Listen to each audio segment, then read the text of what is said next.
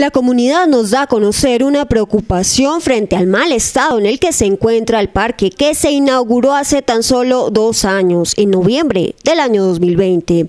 El parque Saldarriaga Concha ubicado en el barrio 20 de julio. Canal 8 hizo un recorrido para verificar la situación que nos manifestó la ciudadanía. Allí se evidenció que el pasto está bastante alto. Las canecas también se encuentran en deterioro, así como las canchas y el piso están en un evidente abandono.